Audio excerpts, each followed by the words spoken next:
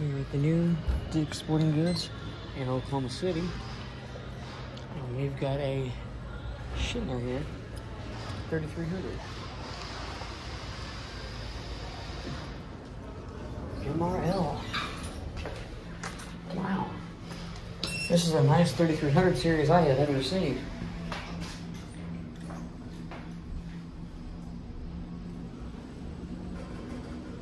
It's kind of fast too.